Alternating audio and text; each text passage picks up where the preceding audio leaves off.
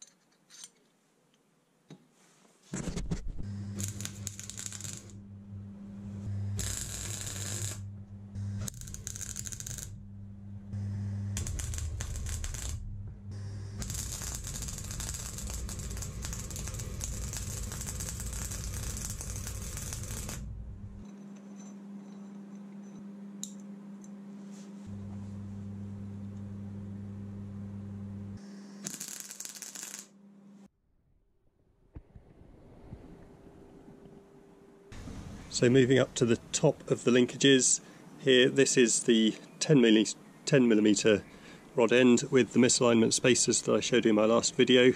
Um, we've got two M8 nuts left and right and a length of threaded M8 rod going through holding it together. I might replace this by a slightly better steel or stainless steel cap screw in due course. You can see that I've chosen to align the rod ends vertically like this so in essence you've got unlimited tilt from that respect.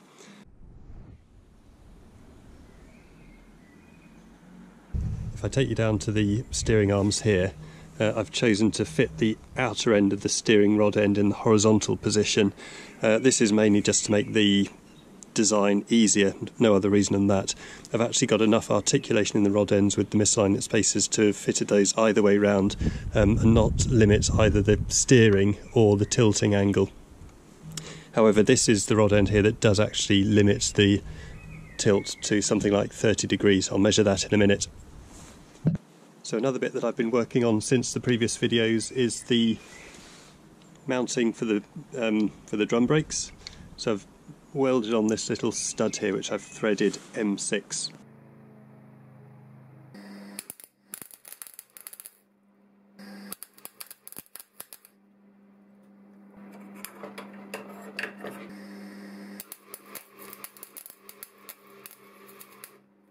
I just take that bolt out uh, and I'll show you how the brake drums fit on in a second.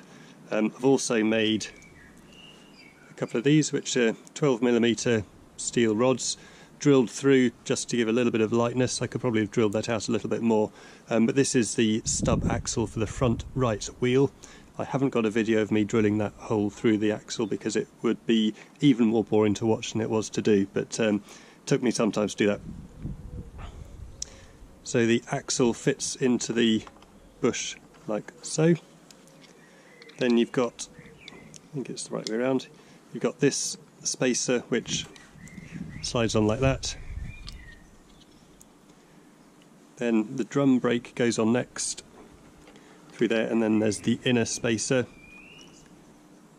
It goes that way around, in fact. The inner spacer slides on like so, and then the drum brake is secured in place with this M6 cap screw, which screws into that threaded bush as I showed you a second ago. I'll just screw that up finger tight for now. So that's how the drum brake fits in position. The braking arm is there, so that's the action of the drum brake, like so. I've got a couple of these things, one left, one right. These are, can't remember what these are called, but basically what they are is the cable guides for the drum brake cable.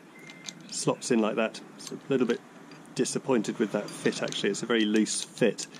Um, not quite sure if I can do anything about that, but I'll have a think about whether I can add a, a spacer or something to lock that in place. But anyway, it's not going anywhere. Um, the brake cable will go down through there and attach to the other end of that arm there.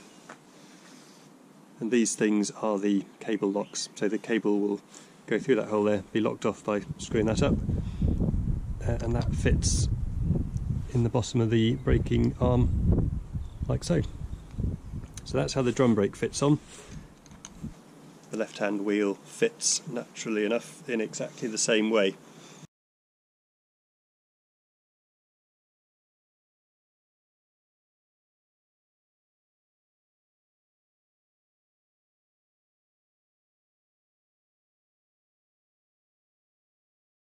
And the wheel simply slides onto the axle like so should do. There you go, one wheel. It's now out of balance. I'll go and fit the one to the other side.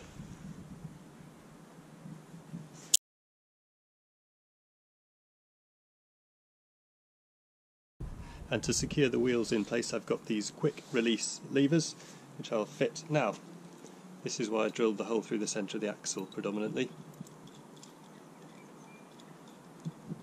QR lever goes through the hole in the axle like so.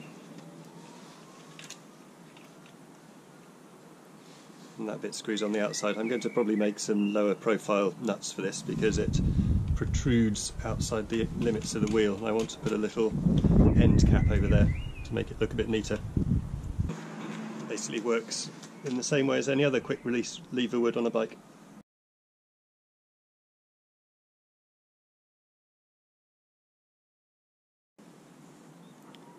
There you go, that's quite a neat solution I think, seems to work and the QR levers can be angled back for increased aerodynamics. This is the bit here where I was talking about the fact that it sticks out beyond the edge of the wheel so you can get little end caps that fit in the hole in the centre of the wheel there so I might make some smaller nuts to allow the end cap to go on a bit more neatly.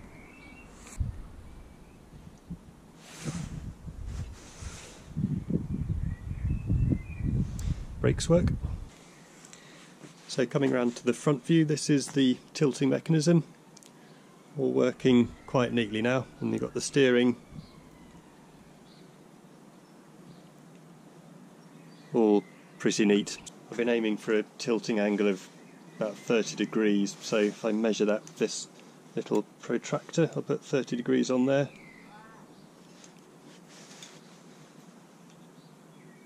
So that more or less is the maximum tilting angle. And even at that angle we've got pretty good steering action. We're not reaching the limits of the steering angle. Just coming back to the bell crank you can see that I've got these aluminium plates which are bolted through with cap screws. Um, the vertical tube which the bell crank is welded to uh, is fitted with pins top and bottom, and there are ball races top and bottom that hold that in place and give it a nice free, low friction movement. Hmm. Another thing to show you coming right down to ground level is I had to adjust the lower wishbones, whatever you call these pieces, um, to give an angled inclination to the outboard bracket. Uh, the reason I had to do this was because I was having clearance problems here. Um, when I was getting to maximum tilt angle. So to avoid those clearance problems, I cut out this piece of wood, glued it back in with epoxy resin and that has solved the problem. The other thing to point out while we're down here is these brackets which hold the ends of the wishbones. Um, I'm going to pass a Jubilee clip all the way around there, drill a hole through the body uh, front to back and just to make sure that those don't come off um, because they're glued on and they're pinned through with a wooden glued dowel. Um, but my confidence that those aren't going to come off is pretty low. So by putting that strap around it, that will hold those nice and secure. So one of the next jobs is going to be to sort out the front brake cables. Uh, I'm going to have the cables operated by a single brake lever, so I need a splitter box. So I've made this little box, which is two aluminium plates drilled and tapped front and back. Um, that's going to be mounted about here. Uh, the brake cable is going to enter from the back, be split into two using that little uh, thing, and then two brake cables will exit here, one to the right wheel, one to the left wheel. So this is just a, a sort of balancer, so that'll make sure that the cable tension is equal on both the left and the right wheel. And I've got a pile of brake cable outers and inners that I'm going to use to rig that up. So that'll be one of the next jobs. Um, might include that in one of my future videos. One of the other jobs I'm going to be doing soon is trying to fair off some of these sharp edges, so round those off a bit, a bit of rounding off here.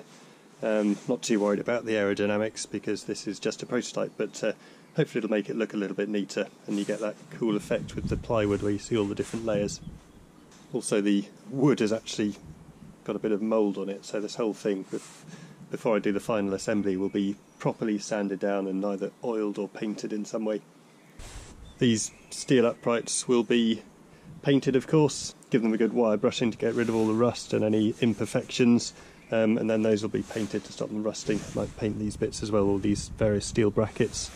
Um, and there are screw threads which need to be shortened and filed off just for neatness and to save those extra few grams of weight I'm going to be fitting some kind of tilt limiting device as well, just a, a stop, so that the limits of the tilt and the steering aren't actually taken up by the rod ends, but uh, you know, come to rest against something a little bit more substantial so that we don't overstrain these parts.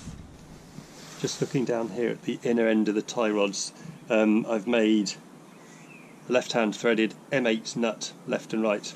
Uh, so we have a left-hand thread on the inside end of the tie rod and a right hand thread on the outside end so that when you twist the tie rod like so it adjusts its length and adjusts the tracking of the steered wheels.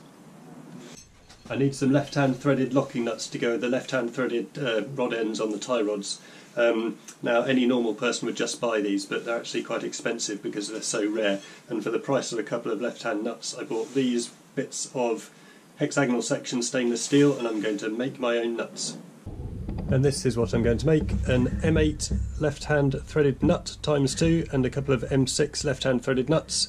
The M8 ones are 13mm across flats and 6mm deep or high and the M6 ones are 10mm across flats and about 5mm high.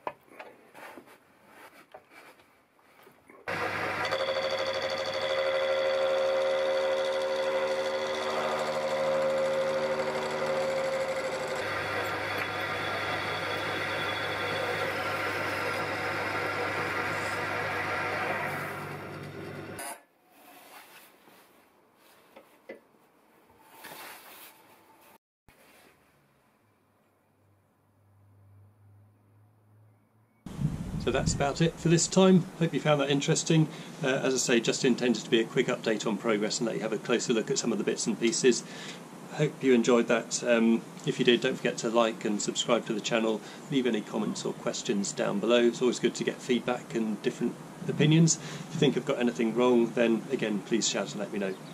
See you next time. Thank you.